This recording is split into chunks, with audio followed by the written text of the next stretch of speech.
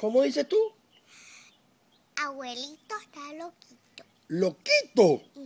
¿Tú también me vas a llamar loquito? No, No. estás muy bello. Bello, soy bello, ok.